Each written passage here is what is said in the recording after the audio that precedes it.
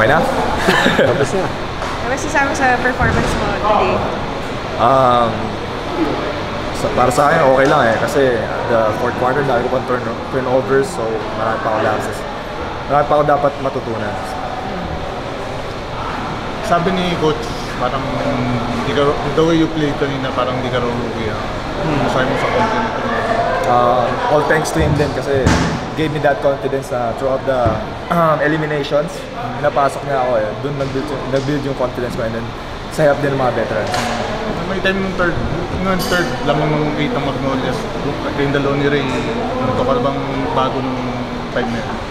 Um, I think wala naman bago yun kasi ever since na nag-start ng playoffs, ng quarterfinals, nag-usap kami ni Ray na mag etong starters na to yung mga veterans. Once na lumabas, lumabas sila, sinasabi namin na all out kami. Kahit anong mangyari, kahit lamang or lamang kami, lamang yung kalaban, um, hindi papakamatay kami sa loob.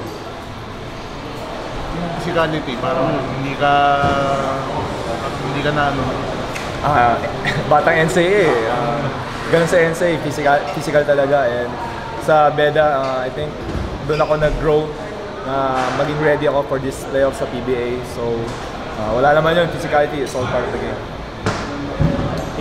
Um, start pa lang ng conference, sinasabi na ni Coach Kaloy, still of the draft ka raw. Paano mo, Angas yan. Ah, paano mo inaano yung feeling niya? yung sinasabi